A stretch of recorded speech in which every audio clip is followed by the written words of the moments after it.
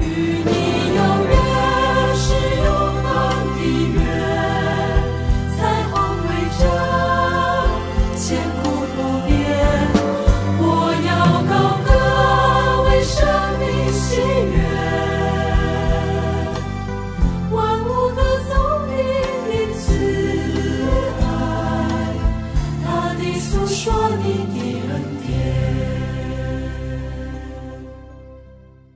谢你们在家里蒙耶稣的祝福，像耶稣圣灵与你们同在，也保护我们大家啊，身体健壮啊。好，我们一起低头祷告，亲爱的阿爸父，谢谢你今天让我们有这么美好的机会，可以分享，可以学习你的话语，请你圣灵与我们同在，我们奉耶稣的名献上感恩，阿门。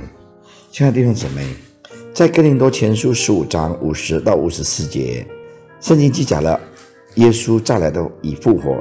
他说：“弟兄们，我告诉你们说，血血肉之体不能承受神的国，必朽坏的不能承受不朽坏的。我如今把一件奥秘的事告诉你们：我们不是都要睡觉，乃是都要改变。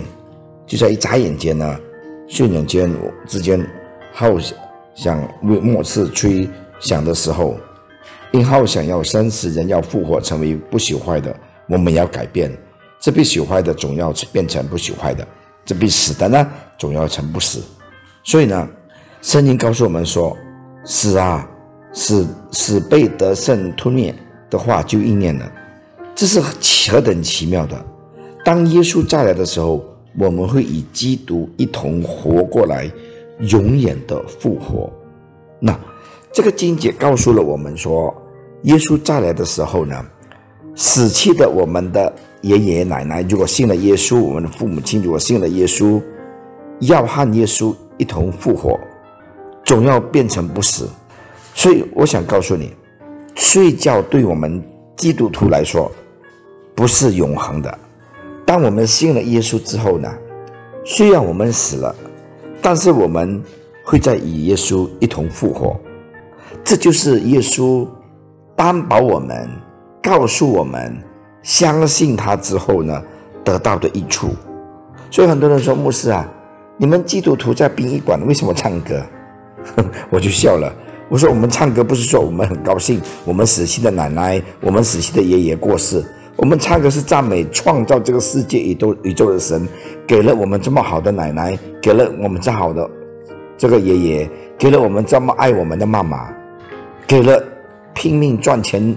给我们读书养养养我们长大的老爸，所以，我们赞美神赐给我们这么好的长辈，这么好的家属，这么好的老人家。那我们相信，他们如果死在基督里呢，我们会与他们相逢。在帖撒罗尼迦前书第四章十三节，轮到睡了的人，我们不愿意弟兄们不知道。恐怕你们忧伤，像那些没有指望的人一样。我们若信靠耶稣而死而复活，那已经在耶稣里睡了的人呢？神也必将他们与耶稣一同带来。我们现在照主的话告诉你们一件事情：我们这话活着，我们这活着还存留到主降临的人，断不能在那已经睡了的人之先，因为主必亲自从天降临，有呼叫的声音和天使长的声音，又有神的。而号吹响，那在基督里死了的人必先复活。以后我们这活着的，还存留的人，必和他们一同被提到云里，在空中与主相应相遇。这样，我们就要和主永远的同在。所以，你们当用这些话彼此劝慰。你看，神呢赐给我们清楚的允许，就是我们在基督再来的复活。在基督里，所有信徒都相遇、欢喜、相交，永远在一起。就算天地都废弃，哦，立法的一点一画、一咒也不能够废弃，都要成全。所以有人说：“牧师，你为什么要相信耶稣？”我说：“耶稣讲的话，每一句都是活着的，他的话语是活泼的，所以他告诉了我们，你看。”我想请问你，弟兄姊妹，哪有一个领袖，有一个宗教家，他敢告诉我们说，这个境界啊，隧道的人、死去的人啊，就说，呃，你们不要太忧伤，因为呢，我们是有指望的人，所以主耶稣所讲的每一句话，他所做的每一件事情，都是真实的，都能够带给我们人安慰，给我们力量，给我们盼望。所以他说：“你要当牧师的时候，我说我信了主耶稣，耶稣所讲的每一句话都有他的意思的。我我们会得到永恒的生命。为什么我不相信他呢？这个世界上哪有人可以告诉我们，从我们活到死啊，我们怎么去做人，我们怎么去做领袖，我们怎么去做家，呃，一个爸爸，一个妈妈，全部都是在圣经教导了我们。那最后呢，他不但教导了我们。”而且要保证我们，如果我们为基督徒、为基督而活，我如果我们顺服神，如果我们爱主耶稣，我们会得到什么呢？永恒的生命。亲爱的弟兄姊妹，这个就是主耶稣担保我们，如果我们信他，我们跟随他，他来的那日子将要接我们回到他的天家，永远的活着。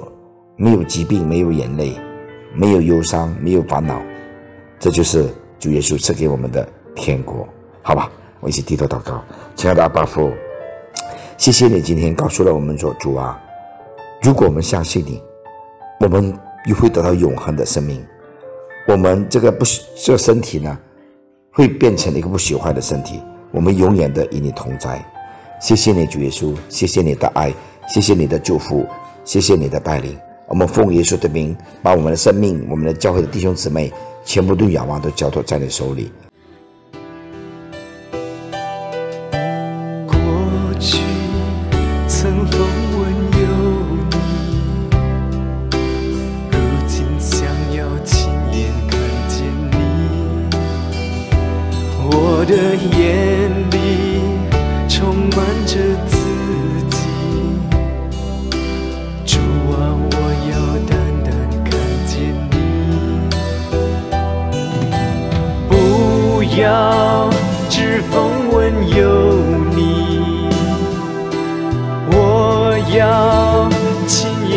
看见你。不要只风闻有你，让我亲眼看见